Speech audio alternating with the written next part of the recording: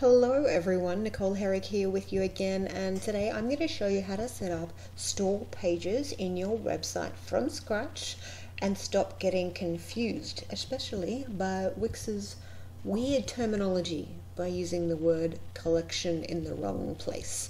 Um, so I'm just grabbed one of their um, template starting websites that you can sort of grab and then play with and adjust to be your own. So we're going to use this as our sample website today. Now I want to go into the menus and pages. We're going to be working here a lot today. Yours might actually look a little bit different if you have developer mode turned on. So I want to show you what that looks like just so that you're knowing um, why yours might be looking different. So we're not going to be using any of this today. We're just going to be using this menu system. So you can actually turn off this whenever you need to, just so it's a bit cleaner. Um, and you can just work with this one. There is also another pages menu, which is up here, which looks different until you click manage pages. I don't know why this is still there. Wix, just get rid of it. Nobody uses it anymore. Just use this one. Mm -hmm. Okay, anyway, so we're going to go to this starting shop page that Wix has created in a lot of their templates. If I click on it and I'll close this site menu, you can see it's called Shop Collection. And within this page, it has all of the products on the website. So to me, if I see something called Shop Collection or Shop By Collection or Shop Collections, I expect to click on that and see categories that I can then choose from. I don't expect to see all of the products. So again, I think this is where people are getting really confused because they're using the word collection, but really this is just a shop all page.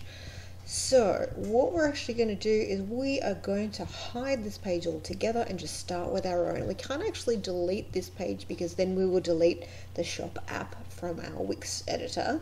But so we're going to hide it and just start with our own and use our own terminology so that we don't get too confused. Alright, so I'm going to go back to the menu and the first thing I'm going to do is hide this. I'm going to click on the three little dots next to it and I'm going to click hide. Not only am I going to do that, I'm also going to hide it from um, I'm also going to hide it from Google. So I go to SEO and then down show this page in search results. No, no, I'm just hiding this page altogether. I'm not deleting it, just hiding it. All right, now what I want to do is add a new page, set of pages basically. So I want to add a folder, not add a page, but add a folder. Okay, so I'm going to call this one shop. Okay, and you can see that comes up in my main menu now. Alright, so now let's go back to the pages um, and I want to add a new page underneath this one with our first category. And what we're going to do is we're going to set up our first category page and then for any new page that we want to create we're going to just duplicate it. And that will be really nice and easy. So now we're going to add an actual page. Okay and you see it comes up and I'm going to call this one bodysuits okay done. And I want to put this one as a sub page under my shop folder. So I'm going to click and drag down underneath my shop folder. So this is a sub page when it's down to the right like this. I can make that a non-sub page by clicking and dragging out to the right and I'll just show you again the sub page, click and drag to the right and there we go. Now we have a sub page and I'll just show in the in the preview. If I hover over shop it comes up with bodysuits. And you can see that my shop page isn't actually clickable. And I've done that for a reason because I don't want people to be able to click on this. I want them to choose a category. Okay let's go back to the editor. Okay, and so here we are in our blank bodysuits page that we have created. Now I want to add a title and a store app. So let's do our title first. We'll just go add text and I'm going to use heading one. I don't care what it looks like at the moment, but you're going to use heading one. Okay, this is because it's a H1 and it's a H1 shows important information to Google. So a H1 shows this text information to Google first above all other text on the page, okay? So let's go and change this around. So what we want, I'm going to make it centered and a little bit smaller. There we go, done. I'm going to save that. Okay. Okay, so now I'm going to call this one bodysuits. Okay. Body, suits. What are they? That could be a cool brand name, bodysuits. Okay, um, so I have that on my page and now I want to add a store gallery. So I'm going to go to my store, add store elements, and then I'm going to click and drag a grid product gallery onto my page and just drop it anywhere. Give it a few seconds. Okay, and now I'm going to center that on my page just below my heading. All right, now what we're going to do is um, basically we want to get this bit right and like looking how we want it to look before we then go and duplicate this page. If you haven't already clicked on your element and see your blue line around the edge, if it looks like this and you can't see settings anywhere, click on the actual store element and then click settings. Alright, so the first thing that comes up is collection. Um, and I want you to understand that when they say collection, they actually mean categories. Wix, if you're listening to this, just rename it to categories so it's a bit more understood. You're using a word collection, and there's people out there doing fashion websites that have different collections, and it just doesn't make any sense. Anyway, so at the moment, this has automatically been assigned to all products but I want to assign it to my bodysuits collection. Okay, category. Alright, so that's my first thing done. Now you can see just the bodysuits show up. Now let's go to layout and we can choose some different options here. Um, a good thing to add is stretch to full width. So if I show that, you can see that now it goes all the way across the page. And this is great if you want a responsive website that um, shrinks and expands as people are on different screen sizes. Um, and you can also choose different um, ways that the images and text are displayed in here. Um, a few things, I like to center the text, so keeping this centered. I like to use the fit in the way that the image is resized because I don't like, I don't want to risk anything being cropped off if I didn't do it properly. I like to use the square ratio, that way if I'm using landscape and portrait images, um, it's, it's going to be the best for both worlds. Um, I like to have three to four columns, you can decide. Um, but with rows, I always want to choose the maximum rows. That's because if you only have four rows, rows, and then people have to press a load more button. But if I'm a consumer and I'm scrolling through your website and I just get to scroll a little bit and then I have to click more, no, no, no, no. I don't want to have to click load more. I just want to keep scrolling and find stuff. Save your time.